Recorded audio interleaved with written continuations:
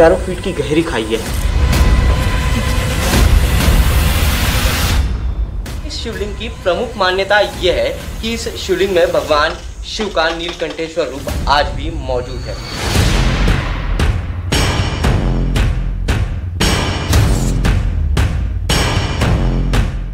आज भी यहाँ पर रावण एवं उनके पूर्वज समय पे जो है पूजा करने आते हैं।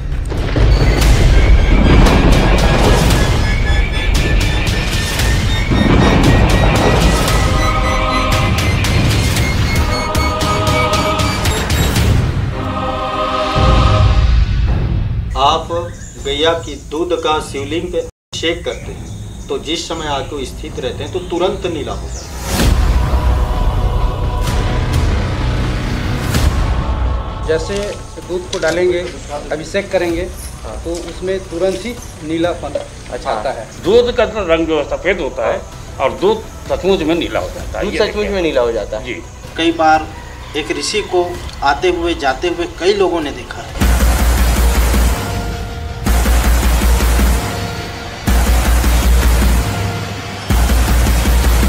बहुत सारा मधुमक्खियाँ मधुमक्खी है? काफ़ी सारी मधुमक्खियाँ निकलो निकलो यहाँ से जल्दी।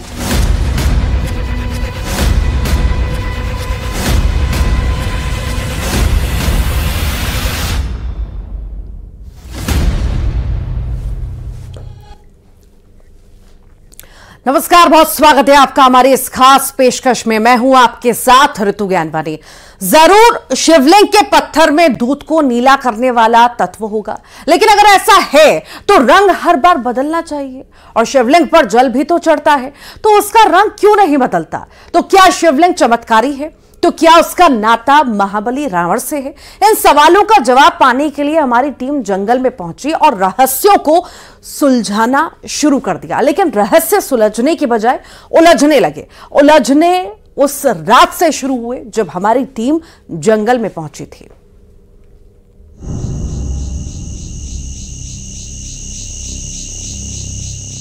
ये शिवलिंग क्या वाकई सफ़ेद दूध को नीला कर देता? है चमत्कार होता भी है या सब आँखों का भ्रम है? अब जो भी है, रात के बाद ही कुछ पता चलेगा।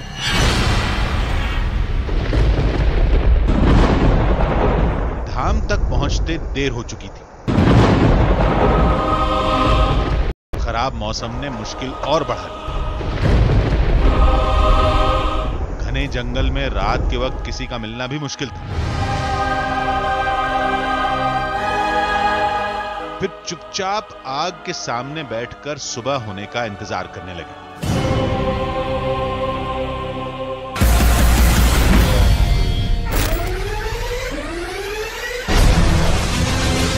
इस अद्भुत शिवलिंग का रहस्य सुलझाने के लिए हमारी टीम रायपुर से करीब 250 किलोमीटर दूर धमतरी के सेहवा इलाके में पहुँच गई थी।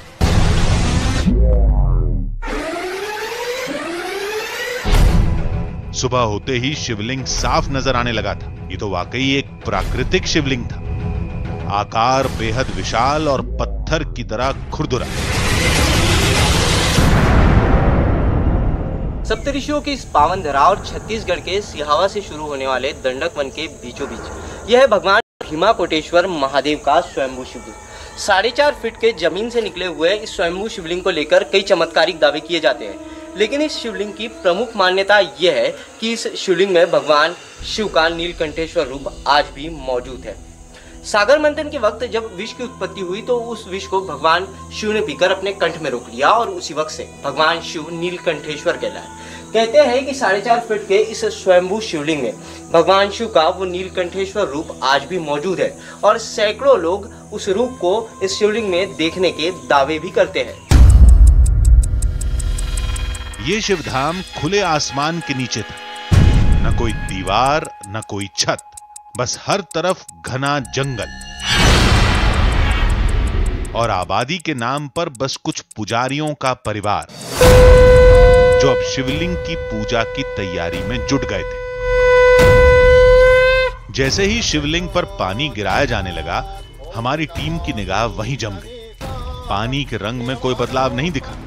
नीचे बह रहा लाल रंग शिवलिंग पर लगे टीके का था। फिर पुजारी ने बताया कि केवल दूध का रंग बदलता है। आज भी अगर आप गैया की दूध का शिवलिंग पे अभिषेक करते हैं तो जिस समय आके स्थित रहते हैं तो तुरंत नीला हो जाता है।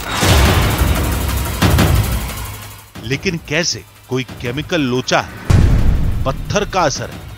लोग कहते हैं ये चमत्कार है। शिवलिंग में महादेव का वास है जिनके नीले कंठ से दूध भी नीला पड़ जाता है। नीलकंठेश्वर रूप आज भी इसमें मौजूद है मानते हैं? हाँ आज भी वही मौजूद है। क्यों? क्योंकि विष का प्रभाव ही दूध को जो है नीला करता है इसलिए उसको नीलकंठेश्वर कहा अगर ऐसी बात है तो महादेव का वास इसी शिवलिंग में क्यों? बाकी जगहों पर क्यों नहीं? तो दावा है कि ये शिवलिंग युगों पुराना है त्रेता काल का। जिसे शिव के परम भक्त रावण भी पूछते थे। आज भी यहाँ पर रावण एवं उनके पूर्वज समय पे जो है पूजा करने आते हैं। रावण की दादाजी पुलत्स्य ऋषि की जो पावन जो तपोवन है यहाँ से लगभग 12 किलोमीटर दूरी सिंगोला पर्वत पर जो है स्थित है।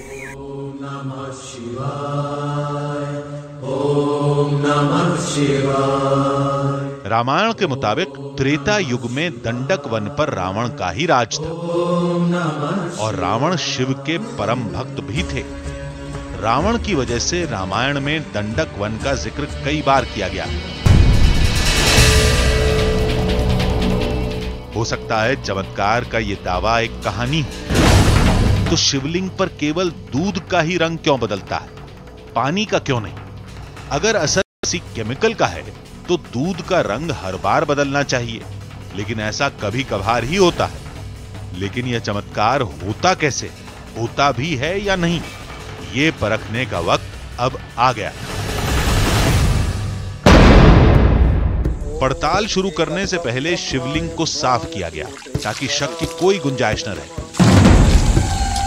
अगर कोई केमिकल या रंग होगा तो वो भी साफ़ हो जाएगा। इस शिवलिंग से पूजा की सारी सामग्री हटाने के बाद अब इस शिवलिंग को हम पानी से धो रहे हैं। पानी से इस शिवलिंग का अभिषेक किया जा रहा है। अगर इस शिवलिंग की चट्टान पर किसी प्रकार का कोई कलर या रंग लगा हो तो पानी के साथ भी वो मिल जाएगा और पानी भी अपना रंग बदल देगा। लेकिन साफ़ तौर पर दिखाई दे रहा है कि पानी पूरी तरीके से पारदर्शी दिखाई दे रहा है। किसी भी तरीके से वो अपना कलर नहीं बदल रहा है। पानी पर कोई फ़र्क नहीं पड़ा। वो बिल्कुल साफ़ था। लेकिन हम कोई कसर नहीं छोड़ना चाहते। अब ये साफ़ कपड़ा है, सफ़ेद कलर का एक कपड़ा है। इस कपड़े से हम लोग शिवलिंग को पोछ लेते हैं ताकि अगर किसी प्रकार का कोई कलर जो है, वो अगर इस शिवलिंग पर लगा हुआ होगा तो वो इस कपड़े पर साफ़ तौर पर दिखाई देगा। अब शिवलिंग पूरी तरह साफ़ था। कोई भी सामग्री इस पर नहीं थी। मान्यता के मुताबिक जलाभिषेक के बाद शिवलिंग की पूजा की गई। सबसे पहले हमने दूसरे लोगों से दूध डालने के लिए कहा। लेकिन रंग तो बिल्कुल नहीं बदला। क्यों? दावा तो कुछ और था। फिर हमारी टीम ने आजमाइश शुरू की। अब शिवलिंग पर हम लोग दूध डालेंगे दूध से शिवलिंग का अभिषेक करेंगे और देखते हैं कि क्या सही में सफ़ेद कलर का ये जो दूध है, दूधिया ये जो दूध है, वो सही में नीले रंग में बदलता है या जिसे लोग चमत्कार कहते हैं, वो हमारी आँखों के सामने हो रहा था। देखिए, अपने आप में अद्भुत है। जैसे ही हम लोग इस शिवलिंग पर दूध डालते हैं और इस शिवलिंग पर दूध पड़ते ही दूध अपने आप नीले कलर का हो जाता है। साफ़ तौर पर देख सकते हैं कि दूध इस शिवलिंग पर पड़ते ही नीले कलर का हो जा रहा है। ये देखिए शिवलिंग पर हम लोगों ने ऊपर से दूध डाला और ये पूरे तरीके से नीला हो गया। और देखिए, ऊपर से मैं सफ़ेद दूध डाल रहा हूँ, नीचे जब ये दूध जा रहा है तो अपने आप नीले कलर का हो जा रहा है। इस पात्र में मेरे पास कुछ दूध बचा हुआ है, इस तामरे में जो दूध बचा हुआ है, वो सफ़ेद कलर का दूध है। एकदम दूधिया जो होता है, एकदम जो सफ़ेद कलर होता है दूध का, ठीक उसी तरीके से दूध का कलर है। ये शिवलिंग पर हमने चढ़ाया नहीं है, लेकिन शिवलिंग पर जो दूध चढ़ा है, उसका कलर साफ़ तौर पर नीला दिखाई दे रहा है और अपने आप में एक अद्भुत चमत्कार जो है, वो यहाँ पर दिखाई दे रहा है। लोगों की आस्था का ख्याल रखते हुए हमारी टीम इसे चमत्कार बता रही थी। लेकिन हमें तो यही पता करना था कि ये सब कैसे हो रहा है। लोटे से गिरने वाला दूध जब शिवलिंग पर बहकर नीचे पहुँचता है तो नीला कैसे हो जाता है? कहीं रंग से जुड़ा ये चमत्कार आँखों का भ्रम तो नहीं। हमने पड़ताल के नतीजे को फिर से परखा। ये शिवलिंग के पास दूध का अभिषेक होने के बाद जो दूध जमा है, उसका कलर और इस ताम्र का कलर देखिए। ये देखिए, अब मैं शिवलिंग पर दूध नहीं चढ़ा रहा हूँ। ये नीचे जो है, ये नीचे मैं दूध डाल रहा हूँ। तो ये दोनों जो है आप अंदाज़ा लगा सकते हैं कि ताम्र से जो सीधा दूध जो है ज़मीन पर गिर रहा है, वो बिल्कुल सफ़ेद है। ये देखिए, यहाँ पर नीले कलर का जो है, नीले रंग का दूध जो है, वो जमा हुआ है। ये शिवलिंग से चढ़ने के बाद नीचे ज़मीन पर आया है और ये ताम्र में रखा हुआ दूध। ये दोनों के बीच का अंतर देखिए, ये बिल्कुल नीला है और ये बिल्कुल सफ़ेद दूधिया जैसा दूध का रंग होता है, ठीक उसी तरीके से। अब इस दूध में, मैं ऊपर से इस दूध को हम लोग शिवलिंग पर नहीं चढ़ा रहे हैं, हम लोगों ने सीधा जो है, इस जो पुराना जो शिवलिंग पर चढ़ा हुआ जो पहले वाला दूध है, उसमें हम सीधा इस ताम्र से इस सफ़ेद दूध की धार को छोड़ रहे हैं। तो आप देख सकते हैं कि ताम्र से गिरने वाला दूध जो है, वो सफ़ेद है और नीचे जो है दूध जो नीचे मौजूद है, वो पूरी तरीके से नीला दूध है। तो अपने आप में एक अद्भुत, चमत्कार इसे कहे, या फिर इसे मैं बयान नहीं कर पा रहा हूँ। हम अब भी पत्थर में किसी खास तरह के तत्व से रासायनिक क्रिया वाली बात पर डटे। थे लेकिन धाम से जुड़े लोगों ने इसे सिरे से खारिज कर दिया। ये तो अब दूध डालेंगे तो पत्थर है चट्टान है तो हो सकता है किस तरीके का केमिकल रिएक्शन होता हो उससे दूध नीला हो जाता हो या कोई और अगर जैसे कि पानी डाला जाए तो नहीं इस क्योंकि यहाँ पर जो है सिर्फ़ ये लिंग के अलावा और चट्टान या एक भी पत्थर है अच्छा। और दूसरी बात रही गई बात केमिकल की। तो ये जो शिवलिंग है उसमें ऐसा कोई भी केमिकल नहीं है। क्यों? क्योंकि यह रावण के द्वारा पुलत्स्य ऋषि के द्वारा या रावण के पूरे परिवार के द्वारा स्वयं पूजित है और यह लिंग सिद्ध सेवित है। हालाँकि हमारी टीम ने भी शिवलिंग की सफ़ाई की थी, कपड़े से भी पहुँचा था, लेकिन फिर भी दूध का रंग कैसे बदल रहा था? शिवलिंग का रहस्य अब उलझ चुका था।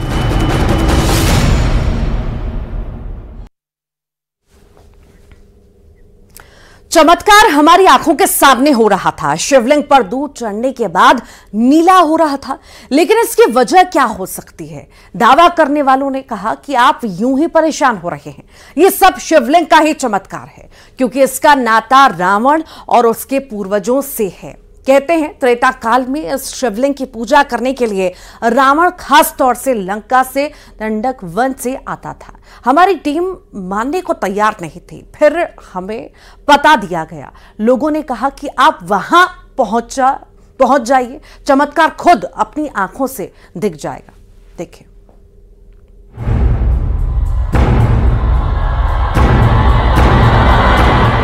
दावे के मुताबिक शिवलिंग तो अपना काम कर रहा था। का रंग बदलते हुए हमारी टीम ने भी देखा। हमने कई बार कोशिश की, लेकिन नतीजा नहीं बदला। लोगों ने कहा, कोशिश करने से चमत्कार कम नहीं होगा, क्योंकि शिवलिंग का जुड़ाव शिव के परम भक्त रावण से कहानी के मुताबिक रामायण काल में दंडक वन लंकापति रावण के साम्राज्य का हिस्सा था। कहते हैं, जंगल में रावण को एक अद्भुत शिवलिंग मिला। शिव भक्त रावण उस शिवलिंग की पूजा करने लगा। बताया जाता है कि उसी साधना से रावण को कई शक्तियाँ हासिल हुई थी। दावे के मुताबिक ये वही चमत्कारी शिवलिंग है जिसकी खोज युगों पहले रावण ने की थी। रावण यहाँ पे आके सिद्धि प्राप्त किया गया और वो यहाँ पूजा पाठ करके जो जितने भी शक्ति, जो विद्या उनको मिला है ना, वो इसी लिंग से ही प्राप्त हुआ है। और आज भी यहाँ अच्छा। उनके पूर्वज आते हैं और पूजा करते हैं। तो क्या शिवलिंग के इसी चमत्कार ने रावण को आकर्षित किया था? लेकिन इस कहानी को हम कैसे मान लें? कैसे मान लें कि इस जगह का नाता कभी रावण से रहा है? तो लोगों ने कहा आपको क्या चाहिए? सबूत? तो वो भी मौजूद है। ये जो शिवलिंग है इससे पूर्व की ओर है एक सिंगोला पर्वत जहाँ पर जो है रावण की जो दादा है पुलत्स्य ऋषि, जिनके वो पावन तपोभूमि है, जहाँ पर उन्होंने अपने कुल की अधिष्ठात्री निकुंबला की जो है कठोर तपस्या की है। वो आज भी उनकी साक्ष्यभूत है, आज भी प्रमाणीकरण है वो। चाहे वो ऐतिहासिक हो, चाहे पौराणिक हो, चाहे पुरातात्विक हो। इस जंगल में रावण से जुड़ा इतना बड़ा साक्ष्य मौजूद है, और दुनिया को पता भी नहीं, ये कैसे हो सकता है? हमारी टीम ने एक बार और पूछा। तो जवाब मिला कि सबूत आज भी मौजूद है। आज भी वो विराजमान है और आज भी वह निकुम्बला माता की जो है पुलस्त्य ऋषि पूजा करते हैं। अगर उस गुफा में जाए तो क्या सही में ऐसा कुछ दिखाई दे दे सकता है या हाँ अगर अभी हम गुफा की ओर चलते हैं और गुफा में जब प्रवेश करते हैं तो आप अपने नेत्रों से देखना उसमें जो है पूरा तत्व की जो है बहुत सारे अवशेष पड़ा हुआ है। हमने सोचा देखने में क्या हर्ज है। साक्ष्य नहीं भी मिले तो हो सकता है कि कोई नई पौराणिक जगह ही दुनिया के सामने आ जाए। हमें नहीं पता कि ऊपर पहाड़ पर कुछ मिलेगा भी या नहीं। हो सकता है कि गाँव वालों का दावा झूठा निकले, लेकिन रहस्य सुलझाने के लिए उस गुफा में जाना बेहद ज़रूरी था।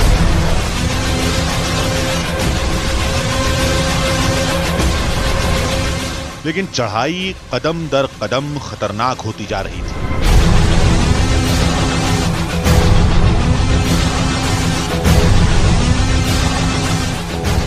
ज़मीन से करीब 1600 फीट की ऊंचाई पर ये पहाड़ है और इस पहाड़ की सबसे ऊँची चोटी पर पहुँचने के लिए हमें इस तरीके से जानवरों की तरह या स्पाइडर जिस तरीके से दीवारों पर चढ़ता है, ठीक उसी तरीके से चढ़ाई करनी पड़ रही है। दोनों पैरों और दोनों हाथों का सहारा लेकर इस चट्टान पर, इस खड़ी चट्टान पर हमें चढ़ना पड़ रहा है। नीचे हज़ारों फीट गहरी खाई है और ऊपर सैकड़ों फीट की ऊंचाई पर हमें इसी तरीके से इस चट्टान पर चढ़ना है। अगर ऐसे में हमारा एक गलत कदम इस चट्टान से फिसलता है तो हम सीधे हज़ारों फीट नीचे गहरी खाई में जा फिसलेंगे। चढ़ाई के बाद अब उस गुफा को खोजना था जिसका नाता रावण से बताया जाता है। कहते हैं, उस जगह दैत्यों की कुलदेवी की अद्भुत प्रतिमा भी है, जो अभी तक दुनिया की नज़रों के सामने नहीं आई गुफा की तलाश में हमारी टीम पहाड़ की सबसे ऊँची चोटी पर पहुँच गई, जहाँ से दंडक वन का एक एक कोना दिख रहा था। एक बार फिर नीचे की ओर जाना पड़ा। टीम के साथ आए लोगों ने बताया कि मंजिल अब बेहद करीब है। थोड़ा और खतरा उठाने के बाद पहाड़ पर थोड़ा और सरकने के बाद एक गुफा का मुहाना हमारे सामने था। वहीं पर जंगली जानवरों की गंदगी देखकर अंदाज़ा लग गया कि अंदर बहुत खतरा है। कई मुश्किलों और दिक्कतों का सामना करने के बाद हम लोग इस गुफा तक पहुँचे हैं, जिसके चलते हुए जंगली जानवरों का खतरा होने के बावजूद। अब हम लोग इस गुफा से खाली हाथ वापिस नहीं लौट सकते। डर काफ़ी लग रहा है। लेकिन इसके बावजूद हम लोगों ने इस गुफा के अंदर जाने का फैसला लिया है। हमारे पास ये कपड़ा है और माचिस है। हम लोग इस कपड़े को जलाकर, इस आग को जलाकर इस गुफा के अंदर जाएँगे। जंगली जानवर जो होते हैं, वो आग से काफ़ी डरते हैं। ऐसे में इस आग के सहारे हम लोग इस गुफा के अंदर बढ़ेंगे और अगर किसी प्रकार का कोई खतरा हमें दिखाई देगा तो हम तुरंत ही इस गुफा से वापस लौट आएँगे।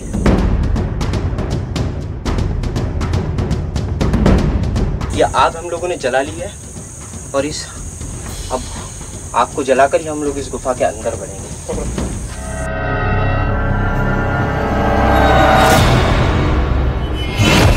कुछ नया पाने के जोश में हमारी टीम ने एक खतरे को नजरअंदाज कर दिया था। बहुत सारा मधुमक्खी है मधुमक्खी है? काफ़ी सारी इधर इधर इधर। हमारी टीम ने गुफा में जाने की एक और कोशिश की लेकिन इस बार खतरे ने हमें खुद आगाह कर दिया। निकलो निकलो यहाँ से जल्दी। अब हमारी टीम की हिम्मत जवाब दे चुकी थी। कुछ मधुमक्खियों ने हमें डंक मारने की कोशिश की। मधुमक्खियों से बचे तो अचानक एक आवाज़ गुफा के अंदर से आई कि भारी भरकम कोई जानवर पत्थरों के ऊपर चल रहा है और उस आवाज़ से डर के चलते हुए हम तुरंत ही गुफा के बाहर भागे और फिर उसके बाद हमने फिर से आग जलाई है। अब इस गुफा के अंदर जाने की हिम्मत हमें नहीं है और अब इसके चलते हुए हम लोग यहीं से बाहर, वापिस जो है, वापिस कोटेश्वर धाम के लिए यहीं से हम लोग तुरंत निकलेंगे। इतनी मेहनत के बाद नाकाम लौटने से हमारी टीम निराश थी। गुफा में रावण से जुड़ी कोई निशानी मिलती भी या नहीं, क्या पता? जो बीत गया उसे क्या सोचना? लेकिन शिवलिंग तो हमारी आँखों के सामने था, जिसके चमत्कार को तो हमने देखा भी था। इस रहस्य को सुलझाना अभी बाकी था।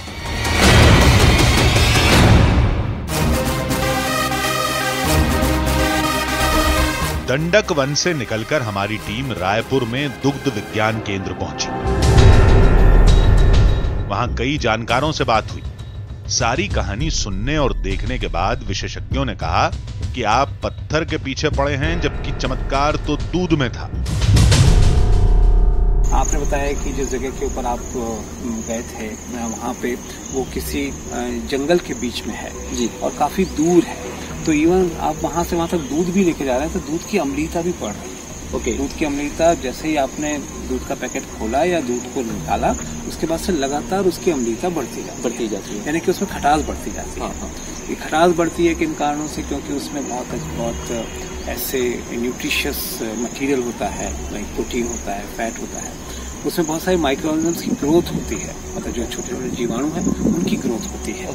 तो कहीं ना कहीं ये सब चीज़ें ही मिल के और उस स्टोन में उपस्थित किसी डाई या किसी तत्व के साथ में रिएक्ट करके करते हैं नीला रंग होता है। जानकारों के मुताबिक, दूध का रंग बदलना कोई चमत्कार नहीं, बल्कि एक रासायनिक क्रिया का असर है। लेकिन ये सारी बातें शिवलिंग पर दूध के रंग बदलने के दावे को लेकर है। इस बात का उन लोगों से कोई नाता नहीं है, जो इस धाम में आस्था के साथ सिर झुकाते हैं। क्योंकि उनकी आस्था हर रंग हर तर्क से परे होती है। यहाँ रुक रहे एक छोटे से ब्रेक के लिए।